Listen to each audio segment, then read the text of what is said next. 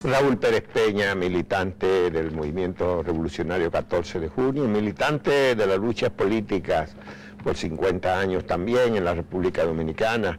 Eh, Raúl Pérez Peña, ¿de dónde sacaste esa colección de fotografías inéditas de, de Minerva Hace 50 años después? Hace exactamente un año, en noviembre del año pasado, cuando yo andaba por las manaclas eh, haciendo los trabajos organizativos para un homenaje eh, a Manolo Tavares y los 29 compañeros, incluido él, que cayeron en el alzamiento de noviembre del 63, pues me encontré con Silvino Pichardo, el hijo de Telma Benedicto, que tenía esa colección de su madre, son como 50 fotos. Y entonces yo no se lo dije ahí a la franca, como se dice, pero dentro de mí pensé, no, dentro de poco le voy a dar vuelta, pero hay que hacer una exposición de esta foto porque la mayoría no se conocen. Y Minú Tavares acaba de decir precisamente que ella, siendo hija de Minerva, y que le decía tía Telma a la amiga, sin embargo ya conocía la mayoría de las fotos. Entonces pensé en una exposición y qué mejor que esta ocasión del 50 aniversario de la muerte de ellas tres y de Rufino de la Cruz, para sacar esa exposición. ¿Sigue abierta la exposición aquí en el Centro Cuesta todavía? Lo que pasa es que tenemos eh, una, un programa rodante, como se llama, itinerante. Ah, itinerante. Sí, ya en Cuesta fue un éxito. Eh, la próxima muestra es, la llevamos abonado con un éxito tremendo hace dos días y pues va a Casa Teatro el miércoles hasta el sábado de la noche. O sea que eh, para la ocasión del 25 va a estar en del 50 aniversario va a estar en Casa de Teatro el 25 de noviembre. Sí, pero exacto, pero a partir de ahí va eh, a La Vega, a Santiago, a Montecristi, a Puerto Plata, que ya la están esperando en Puerto Plata, la Sociedad Cultural Renovación. A, bueno, todos los lugares donde uno puede, incluido San José de las Matas. Pero, Macho, tú eres de los que ha estudiado y ha escrito mucho sobre las Mirabales y el fenómeno de ellas. ¿Qué fue? ¿Qué, clase de mujer era realmente Minerva, que ella sola resumía la fuerza de todas, todas las mujeres de su época, casi, ¿no? Bueno, primero yo la bautizo como el símbolo de las Mirabal, obviamente era la más. Pero yo quiero que se vea la exposición, porque eh, tocó la coincidencia que había una reunión de psicólogos encuesta eh, por, la, por donde estaban las fotos y ellos aceptaron gustoso estudiar el rostro de Minerva, ¿no?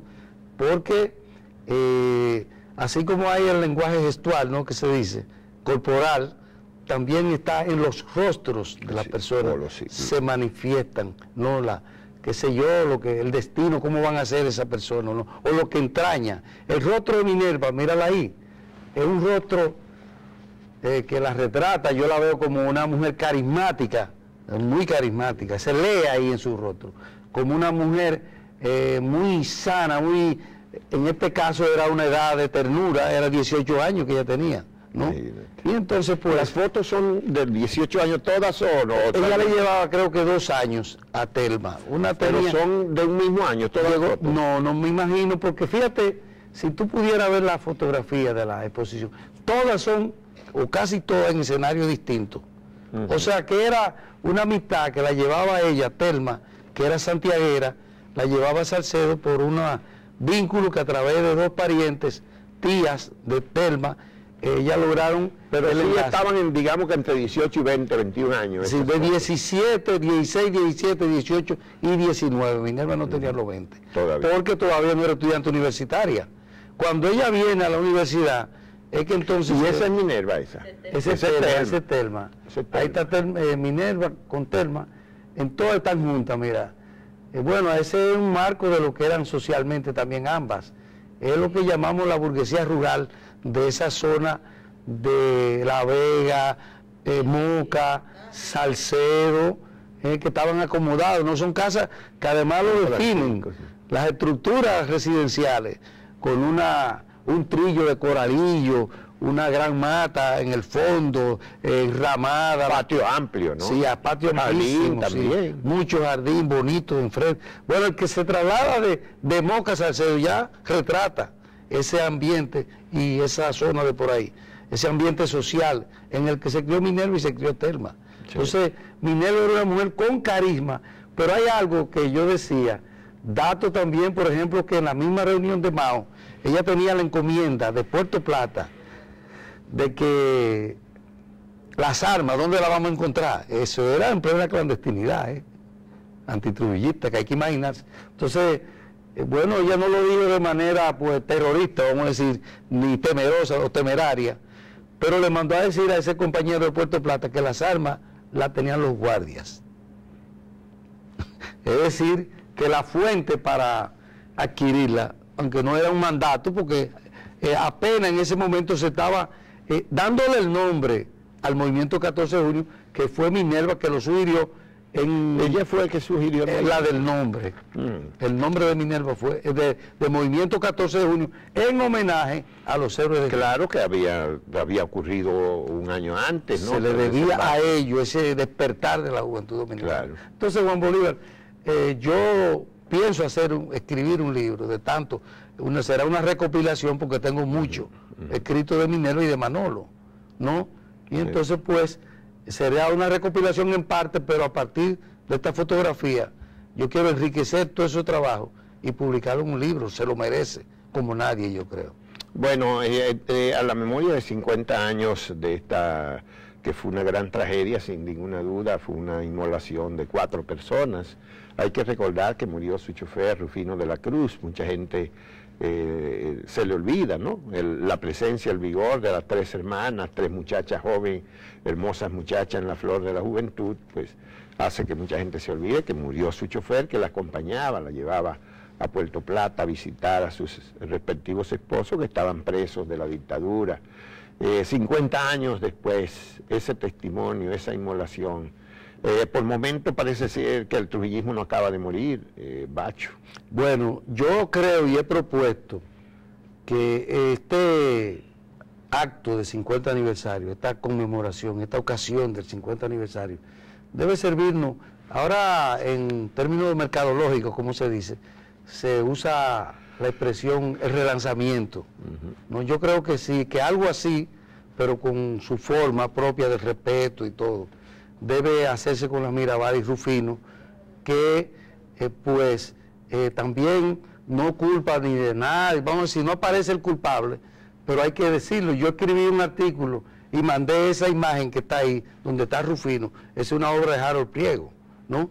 Y entonces eh, me escribieron una señora Cataldi y otros con este encabezamiento, por fin Rufino, y no es cuestión de echarle la culpa, lo cierto es que también hay que rescatar la figura de este hombre que tuvo el valor, pese a la advertencia de la propia Minerva, del riesgo que corría con acompañarlas a Puerto Plata. Así que yo creo que precisamente las hermanas Mirabal y Rufino de la Cruz deben ahora relanzarse, pero no por, por complacencia, sino, sino por lo que ella entraña, lo que tú acabas de decir es que no hemos avanzado en lo social, ni se diga, ¿no? Yo soy de lo que habla con términos muy eh, críticos sobre el cuadro social que tiene el país, que vive República Dominicana a los 50 años.